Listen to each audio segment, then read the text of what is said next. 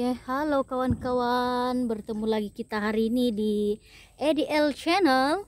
Oke, hari ini saya mau berkongsi cara saya kasih banyak ini bunga boga, bogania kan nama dia. Oke, bogandia menggunakan ini daun batang daun saja. Mula-mula kita ambil yang batang daun yang sudah tua, yang cukup matang. Oke yang begini ini cukup matang sudah ini. Oke. Saya ambil dua. Hari ini saya mau berkongsi cara saya memperbanyakkan ini bunga nia bunga bong bogania saya. Oke. Jadi teruskan menonton untuk mengetahui cara saya menanam dan memperbanyakkan ini bunga. Oke Oke, mula-mula sudah kita ambil ini batang daun bunga pogania. Lepas itu kita sediakan pasu. Nah, kicik begini pun boleh dengan ada isi tanah sudah. Lepas itu yang ini kan batang bunga ini kita potong. Kita kasih tinggal dalam satu inci saja ini pun kasih potong dia. Oke yang ini buanglah. Oke kita bermula di sini. Ini kan kebelah nih di sini. Dia punya daun ini ada belahan di sini. Kita mula kasih hiris dia.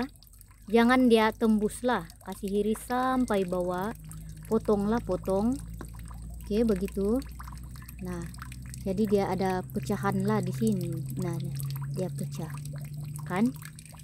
Eh menarik oke dia pecah sudah di sini. Kasih hiris dia kan. Jangan kasih tembus sampai di belakang lah. Oke? Yang satu pun begitu begini. Ini ada belahan ini daun kan. Kita putung di sini dia. Di bawah belahan ini. Nah di sini. Putung hiris dia begitu jangan kasih tembus sampai belakang lah. Kasih separuh saja. Oke begini. Oke. Nampakkah? Oke belahan dia di sini. Ada belahan. Lepas itu kita kasih cucuk saja di sini. Oke kasih cucuk. Sudah cucuk begitu. Lepas itu ini satu pun kasih cucuk dia begini saja.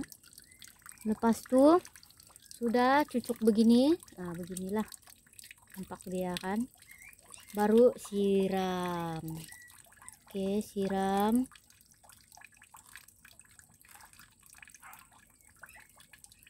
Dan simpan di tempat teduh selama dua bulan sampai ini daun ini mati.